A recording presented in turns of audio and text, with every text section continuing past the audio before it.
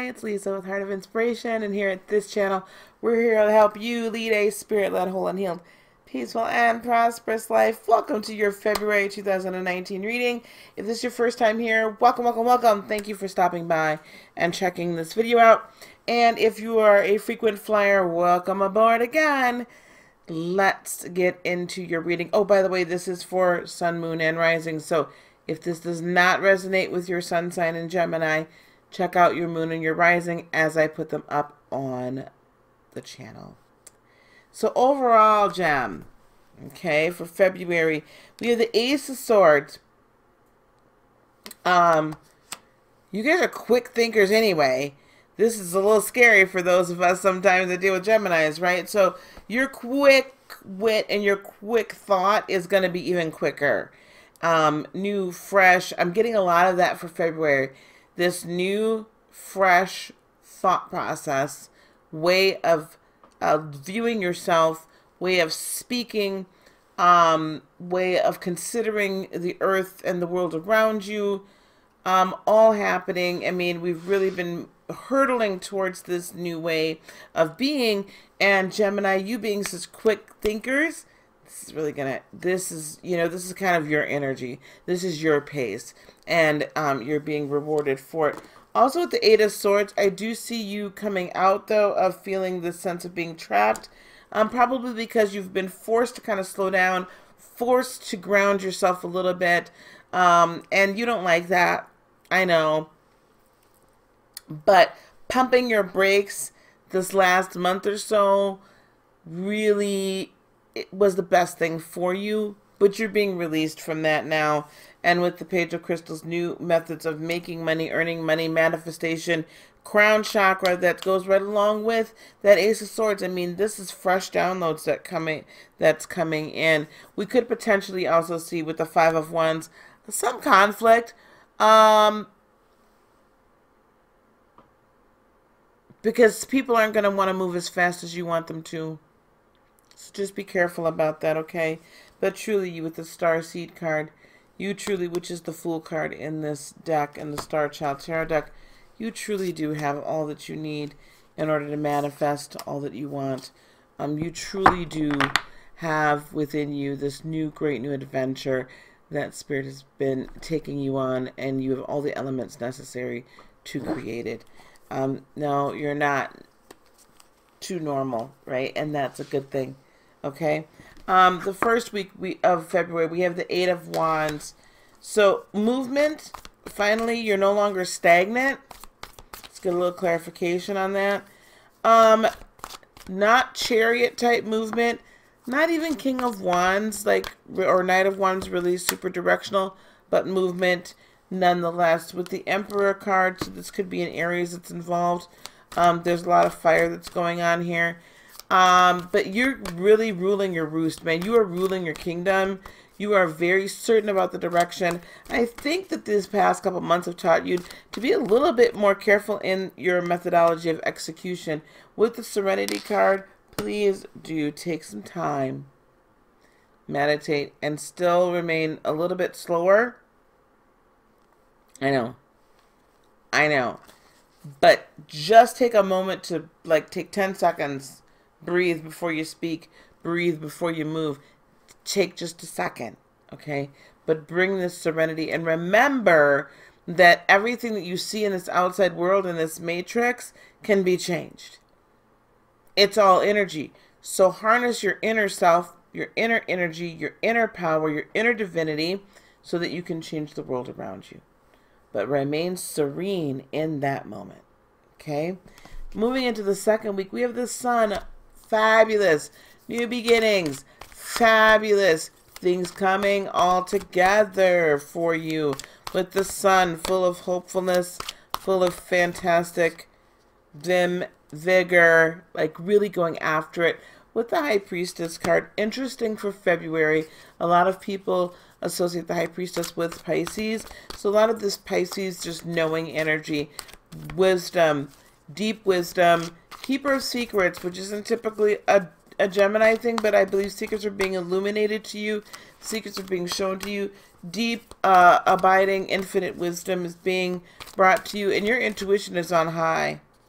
With the Seven of Swords, you're actually, the way I see this is that you have identified what's been stealing your joy, what's been stealing your peace, who's been not with you, who's been not for you. And as that high priestess, you're moving in the in in the intuitive way of being like, I see you. And I see what you're trying to do, but you're not going to be able to. That's what how I see this playing out in the second week. People's motivations being brought to you and you just know, right? But you still remain like upbeat and happy and joyful because they're not going to steal your joy from you. They may want to try to take an idea or two, or they might be hiding something, but it's like you already know it. So it's like, what's the point in hiding? But I don't even sense anger about it. You're just like, okay, yeah, I get it. All right, this is where you're at. So this is where we're going to be at.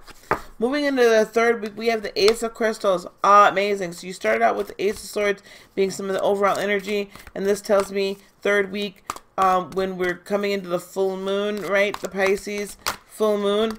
Um, boy, new manifestations happening.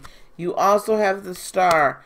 Again, wish, fulfillment, hopefulness, riding the wind of the spirit. Okay?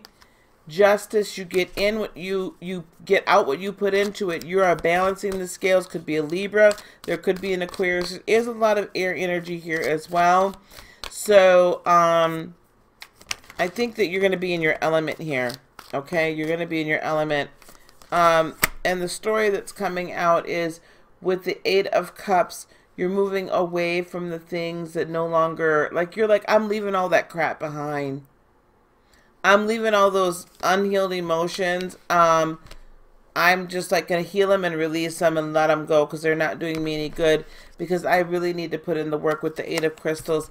And this is going to be quick work. Could be a Cancer involved, but this is going to be a quick work with the Chariot. You are like, by the third week, you've got this momentum that you're just like, whoosh, right? And then that definitely then rings true with coming out at the end of the week. Both of these cards came out. I have to acknowledge them both. The Nine of Cups and the Knight of Wands. Quick, passionate movement. But the Nine of Cups says, I am so happy with who I am, where I am, how I am. I love myself. I love my life. I'm not letting anybody, letting anybody change my mind about it. Keeping your balance with temperance making sure you stay grounded, guys. Make sure you stay grounded. Could be a Sagittarius involved. Make sure you stay grounded. And here we again have the Page of Crystals. New methodologies of making money. New methodologies of manifestation. Um, getting a new language for manifestation as well is what I see. And this King of Crystals says by the end of February, we're once again, Gemini, all about our bag. And it's coming in. It's coming. Provision, provision, provision is coming right? So stability, provision is coming. It's already here. So just know that, you know, your passions are going to fuel this and you're going to get ways to utilize your passions to make that bag and keep yourself financially secure. Also security and stability within your family life. If that's been a little bit shaky, uh, by the end of February, that should all kind of get ironed out. And there should be plenty of stability here um, waiting for you, ready for you. Okay. All right, that's what I have for you, Gemini. Thank you so much. Again, please like, consider subscribing if you already haven't. Leave me some comments below. Let me know how this resonated with you. Um, also, if you wish to work with me in any fashion with energy work, spiritual coaching, I'm offering spiritual coaching as well um, working with me through your ascension and awakening process. And also, we do have a conference, spiritual conference, Propel into Purpose, coming up March 8th through the 10th, right here in Madison, Wisconsin. Let me tell you, it is going to be amazing. Reiki One Attunement, um, enhancement, and just like kind of drawing out the spiritual gifts. Um, internal healing, being able to heal others, setting up your business. This is a two day packed information, value packed two days. Have your face in the place, your tushy in the seat, okay? Um, get here no matter what. Registration is open. Spots are filling up. You do not want to miss the blessing and the manifestation energy that's going to be in this place. All right, guys. That's it. Thank you so very much. Peace, love, blessings, and joy be unto you today, tomorrow, and for all eternity. I love you guys. Namaste. Bye bye.